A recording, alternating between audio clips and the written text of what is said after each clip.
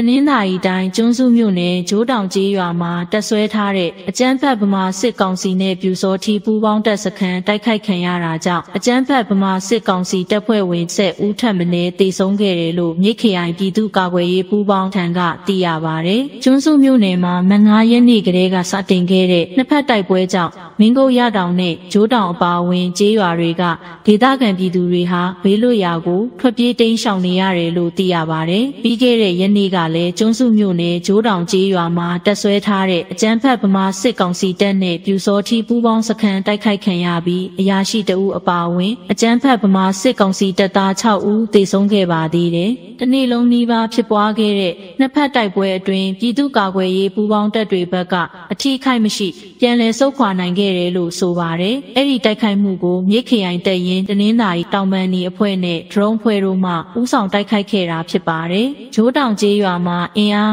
90ဝန်းကျင်နဲ့ယာယီတက်ဆွဲထားတဲ့အကြမ်းဖက်ဗမာစစ်ကောင်စီတပ်နဲ့ပြူစောထီပူးပေါင်းတပ်စခန်းကိုပြည်သူ့ကာကွယ်ရေးပူးပေါင်းတပ်တွေဘက်ကမက်ဆက်တရက်နေ့မနက်9နာရီခွဲအချိန်ခန့်မှာဝင်ရောက်တိုက်ခိုက်ခဲ့တာဖြစ်ပါတယ်။မနက်အစောပိုင်းမှာစတင်ဖြစ်ပွားခဲ့တဲ့နှစ်ဖက်တိုက်ပွဲဟာညနေ6နာရီခွဲအထိပြင်းထန်ခဲ့ပြီးတိုက်ပွဲအတွင်းအကြမ်းဖက်ဗမာစစ်ကောင်စီတပ်ဖွဲ့ဝင်10ဦးထပ်မံတေဆုံးခဲ့တယ်လို့နေခရိုင်ပြည်သူ့ကာကွယ်ရေးပူးပေါင်းစစ်ကြောင်းနှစ်ပြန်ကြားရေးတာဝန်ခံကပြောပါတယ်။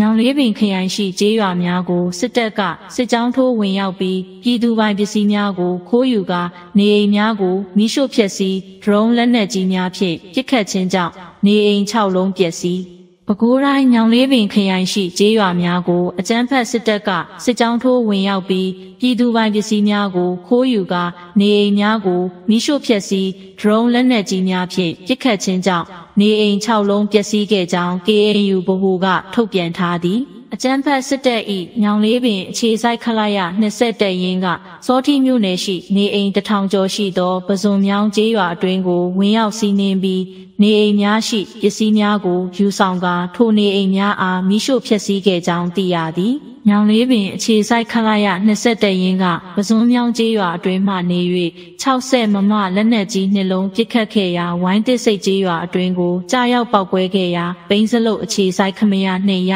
64တက်ရင်120မမလက်နက်ကြီး3လုံးပစ်ခတ်ခဲ့ရာဝိုင်းတစ်စိတ်ကျေးရွာအတွင်းထပ်မံကြားရောက်ပောက်ကွဲခဲ့ကြောင်းသိရှိရသည် အလားတူမူးမျိုးနယ်တွင်မတ်လ17ရက်နေ့နနက်8နာရီ6မိနစ်ခန့်၌အကြမ်းဖက်စစ်ကောင်စီတပ်သားများကရင်းတိုက်ကုန်းကျေးရွာအတွင်းကိုဒရုန်းများဖြင့်ငါးကြိမ်ခန့်မီးလောင်ပုံများလာရောက်ကျဲချခဲ့သောကြောင့်များမခင်ကြီး၏နေအိမ်နှင့်စပားကြီးတို့မီးလောင်ပျက်စီးခဲ့ပြီးနနက်၈နာရီ35မိနစ်တွင်ဒရုန်းဖြင့်ထပ်မံပုံကျဲချခဲ့သောကြောင့်တီးရင်မင်းပိုင်၏နေအိမ်မီးလောင်ပျက်စီးခဲ့ကြောင်းသိရသည် ထို့ပြင်အကြမ်းဖက်စစ်ကောင်စီတပ်သားများကအညာစုကျေးရွာအတွင်းသို့ဒရုန်းဖြင့်၄ကြိမ်လာရောက်ကျဲချခဲ့ပြီးနှစ်တန်ကွင်းရှိအကြမ်းဖက်စစ်ကောင်စီတပ်သားများက81မမလက်နက်ကြီးများပစ်ခတ်ခဲ့ရာအညာစုကျေးရွာအတွင်းကို လေးလုံးကြားရောက်ပောက်ကွဲခဲ့သောကြောင့်ဒေါ်ချင်းမေချင်းမေဤနေအိမ်မတူစာဝင်းဤနေအိမ်တီးစေထူးဤနေအိမ်ဥကလာလေးဤနေအိမ်နှင့်ကိုဝင်းညွန့်ဤနွားတင်းကုတ်ထင်းစင်တို့ပျက်စီးခဲ့ကြောင်းသိရှိရသည်အကြမ်းဖက်စစ်ကောင်စီတပ်သားများသည်မတ်လ12ရက်နေ့နနက်9နာရီခန့်တွင်ရင်းတိုက်ကုန်းကျေးရွာအတွင်းကိုစစ်ကြောင်းထိုးဝင်ရောက်ပြီးနေအိမ်များအားမိရှို့ဖျက်ဆီးခဲ့ကြောင်းသိရသည်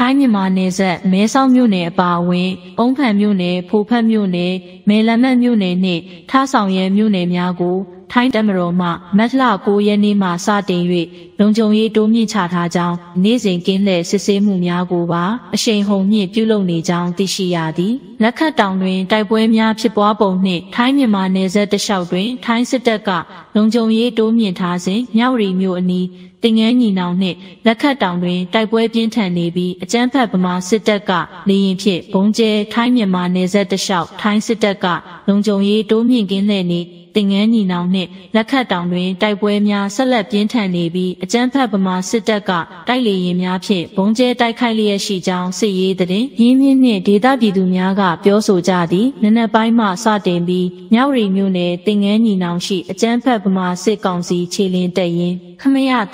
355တက်နှင့်စစ်ဖြူဟာကုန်းနေရာတပ်ရင်းတပ်ဖွဲ့များကိုကရင်အမျိုးသားလွတ်မြောက်ရေးတပ်မတော်ပူးပေါင်းတပ်ဖွဲ့များကစတင်တိုက်ခိုက်ခဲ့ပြီးခမရ355နှင့်တင်ငန်းညီနောင်ရဲစခန်းကိုသိမ်းပိုက်နိုင်ခဲ့ကြောင်း6ရက်ကြာသည့်အထိ အကြမ်းဖက်ဗမာစစ်ကောင်စီတပ်၏ယူဟာကုန်းနှင့်တပ်ရင်းများကိုတော်လှန်ရေးတပ်ဖွဲ့များကဆက်လက်တိုက်ခိုက်နေသည့်အတွက်တိုက်ပွဲများပြင်းထန်နေကြောင်းယနေ့တွင်လည်းအကြမ်းဖက်ဗမာစစ်တပ်ကတိုက်လေရင်များဖြင့်ဘုံကျဲမှုများဇက်တိုက်လှုပ်ဆောင်ခဲ့ကြောင်းသိရှိရသည်ဒီနေ့မွန်းလွဲ2နာရီ20မိနစ်မှာညီနောင်ယူဟာကုန်းမှာတိုက်ပွဲတွေပြင်းထန်နေတယ်ဒါအပြင်လက်ခတ်တောင်မှာလည်းတိုက်ပွဲပြင်းထန်နေပါတယ် လေကြောင်းတိုက်ခိုက်မှုတွေလည်းတောက်လျှောက်ရှိနေတယ်ဟုစစ်ရေးသတင်းရင်းမြစ်ကပြောဆိုသည်ထိုင်းမြန်မာနယ်စပ်အနီးတိုက်ပွဲများပြင်းထန်နေသဖြင့်ထိုင်းတပ်မတော်ကထိုင်းမြန်မာနယ်စပ်တလျှောက်ထိုင်းဘက်ခြမ်းမြို့နယ်၅ခုတွင် လုံခြုံရေးများအထူးတိုးမြင့်ထားပြီးကင်းလည်နေကြောင်းထိုင်းမီဒီယာကသတင်းဖော်ပြထားသည်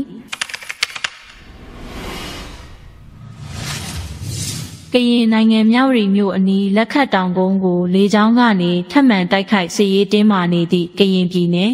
မြဝရီမြို့အနီးလက်ခတ်တောင်ကိုယနေ့မွန်းလွဲပိုင်းကအကြမ်းဖက်ဗမာစစ်ကောင်စီတပ်ကနေလေကြောင်းကနေထပ်မံတိုက်ခိုက်နေပြီးတင်ငန်းညီနောင်ကျေးရွာတွင်လည်းထိတွေ့တိုက်ပွဲများဆက်လက်ပြင်းထန်နေသည်ဟုစစ်ရေးသတင်းရင်းမြစ်များထံမှသိရသည် တင်ငန်းညီနောင်ဒေသတွင်ဖြစ်ပွားခဲ့သည့်အကြမ်းဖက်ဗမာစစ်ကောင်စီတပ်နှင့်ကရင်အမျိုးသားလွတ်မြောက်ရေးတပ်မတော်တပ်မဟာ6ပူးပေါင်းတပ်တို့အကြားနှစ်ဖက်တိုက်ပွဲများတပတ်ကြာမြင့်လာခြင်းလက်ခတ်တောင်ကုန်းကိုယနေ့မွန်းလွဲ2နာရီအချိန်ခန့်တွင်အကြမ်းဖက်ဗမာစစ်ကောင်စီတပ်မှလေရင်ဖြင့်ဖျက်အားပြင်းပုံများဖြင့်ကျဲချခဲ့သည် ထိတွေ့တိုက်ပွဲတပတ်ကြာလာသည့်အချိန်လက်ခတ်တောင်ကုန်းကိုအကြမ်းဖက်ဗမာစစ်ကောင်စီတပ်ကနှစ်ကြိမ်မြောက်လေရင်နှင့်ဘုံကျဲတိုက်ခိုက်ခဲ့ခြင်းဖြစ်ပြီးထိခိုက်မှုကိုတော့လက်တလုံး၌မတိရကြောင်းဒေသခံတွင်သတင်းရင်းမြစ်များကပြောသည်လက်ခတ်တောင်ကိုဘုံလာချသွားတယ်။မီးတွေပါလောင်တဲ့တောင်ပေါ်မှာဟုသတင်းရင်းမြစ်များကပြောသည်။ထို့ပြင်ယနေ့နံနက်ပိုင်းတွင်လည်းတင်ငန်းညီနောင်ခြေဆိုင်ခမရ358တက်ရင်အနီးတင်ငန်းညီနောင်နှင့်ဝေရှန်ကျေးရွာကြားတွင်နှစ်ဖက်ထိတွေ့တိုက်ပွဲများအပြင်းထန်ဖြစ်ပွားနေသည်ဟုဒေသခံများကပြောသည်ကရင်ပြည်နယ်မြဝတီမြို့အနီးရှိဖြစ်ပွားနေသည့်တိုက်ပွဲများအတွင်အကြမ်းဖက်ဗမာစစ်ကောင်စီတပ်၏ခမရ355တပ်ရင်းဌာနချုပ်တင်ငန်းညီနောင်နယ်မြေရဲစခန်းဖလူးစခန်းများကိုကရင်အမျိုးသားလွတ်မြောက်ရေးတပ်မတော်တပ်မဟာ6တော်လန်ရေးပူးပေါင်းတပ်ဖွဲ့များမှတိုက်ခိုက်သိမ်းပိုက်ရရှိထားပြီးကြန့်ရှိနေသည့်ယူဟာနှင့်တပ်ရင်းစခန်းများကိုဆက်လက်ထိုးစစ်ဆင်တိုက်ခိုက်နေသည်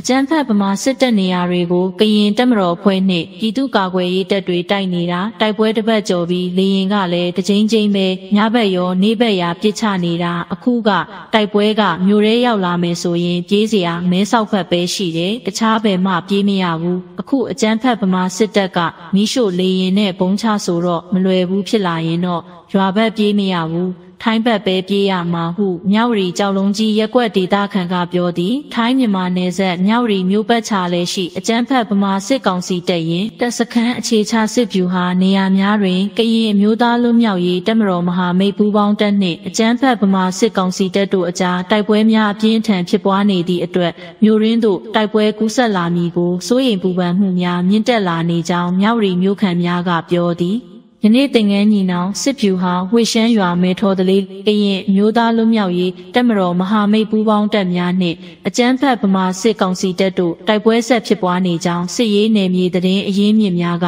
ပြောသည်ထို့သောမြို့ခံရက်ကွက်နေပြည်သူများမြို့ရင်းသို့တိုက်ပွဲများကူးဆက်လာမည်ကိုစိုးရိမ်ပူပန်မှုများရှိနေတော်လဲအပြစ်ရလက်နက်ကင်များလောက်ကင်နေသည့်ဒေသတွင်အာဝါဒီပွဲခင်းများမှာဆက်လက်၍ပွဲသွင်းနေဆဲဖြစ်ကြောင်းမြောက်ရီမြို့ခံပြောသည် ထို့အပြင်လက်တလောတင်ငန်းညီနောင်ကျေးရွာဘက်တွင်တိုက်ပွဲများဆက်ဖြစ်နေ၍မြောက်ရီမျိုးယာယီစစ်ပေးရှောင်နေရာ၅ခုခန့်နှင့်ဆွေမျိုးအတိမိဆွေနေရာများတွင်လာရောက်ရှောင်တိန်နေထိုင်သူများပိုတိုးလာနေကြောင်းသိရသည် လူမှုကူညီရေးအသင်းမှရွာတစ်မဲကနေမြင်းနီကုန်းမြဆန်နီကုံသွယ်ရေးစုံနဲ့တင်ငန်းညီနောင်ဘက်ကစစ်ဆောင်တွေကိုမြဝရီကလူမှုကယ်ဆယ်ရေးအဖွဲ့တွေတွားကြိုတဲပေးနေကြတယ်။အခုတောရချောင်းရေပူချောင်းကြံခင်းရက်ကွက်ဓမာယုံတို့ပြည်လာနေပြီဟုပြောသည်။